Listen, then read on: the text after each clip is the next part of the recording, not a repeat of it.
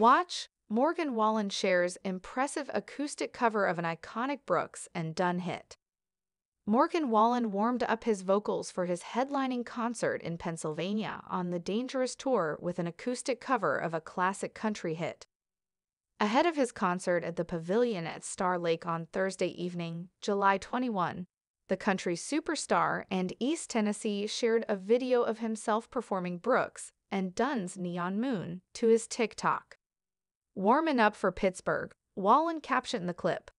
In the clip, Wallen, who is wearing a brown t shirt and white pants, is seen strumming an acoustic guitar on what appears to be his tour bus while singing Neon Moon.